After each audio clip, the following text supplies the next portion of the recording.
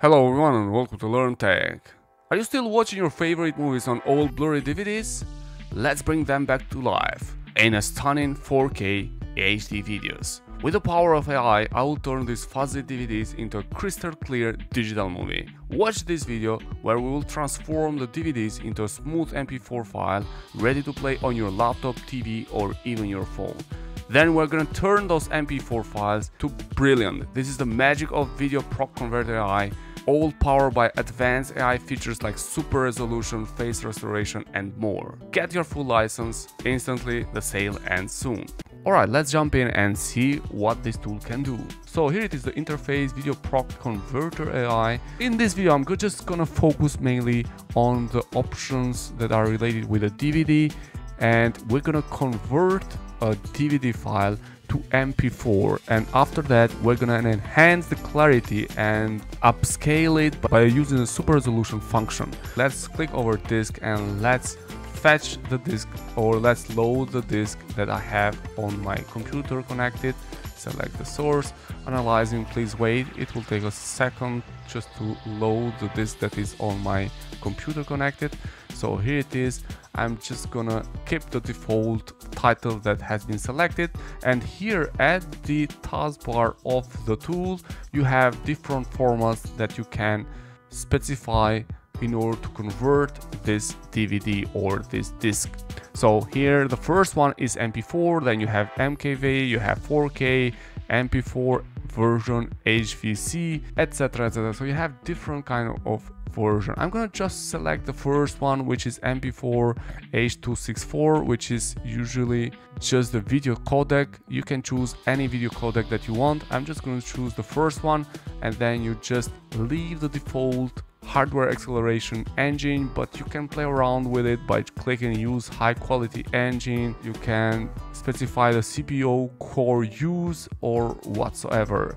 The other important point is to specify the folder where you want to have the output of this video. After it's converted basically I'm just gonna leave this one which is the default one. So here it is and then once you select everything that you want you just click over run. And then the conversion of this video will start. So it's exporting your dvd please wait. It's a big dvd so it will take a couple of minutes. So we are gonna just meet at the end of the video once this conversion is over. All right so here it is uh, the video that is just extracted. So we load it so here it is the video. It will start. And as you can see now it's on mp4 we're just gonna minimize the voice so we don't have any copyright issues. We're not gonna play a lot this video. It's just a template that i wanted to show to you guys. And yeah that's the video which is converted now and i can play that in any computer that i want. This tool has many powerful functions but i have done other videos for this tool and the links for those you're gonna find in the description below. So the next thing that i want to show on this video is how to make the quality of this video better. So we're gonna go back again to this tool and we're gonna go at the main page where we have all the functions and I'm gonna click over super resolution and let's have a look what we can do over there. Alright, so detecting for AI stability.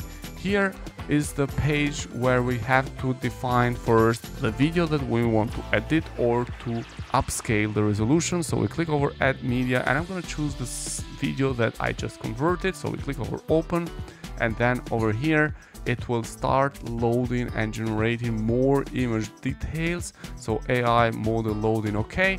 I'm just gonna leave for now the default. The next thing is to specify the model settings. You can upscale two times, three times or four times and it's up to you which one you're gonna choose.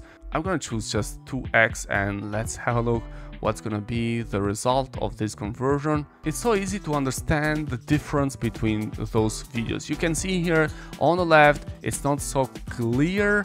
You can compare those two pictures of this video it's easily understandable that the right it has more clarity and seems to be more professional compared to the one in the left which actually is the original one but yeah here again you can see it's more clear more deblurred the version on the right. You can check it by yourself it's really nice and really powerful this super resolution option that VideoProc provides. Easily you can see the difference between the left and the right. So that's all that actually I wanted to show to you guys in this video. I hope you like this video and I hope you find this helpful. Thank you for watching. All the best. Thank you.